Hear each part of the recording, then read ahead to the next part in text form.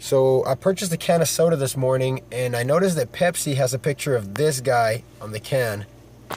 And I thought it was kind of weird that they would decide to advertise him, you know, because of his controversial past.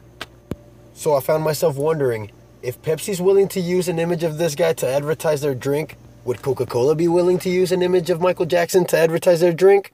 So I sent them an email and I got this video response back from a spokesman, from a Coca Cola spokesman. I'm sorry, brother. 1400 don't promote pedophiles. We we we we don't we don't fuck with uh weird niggas.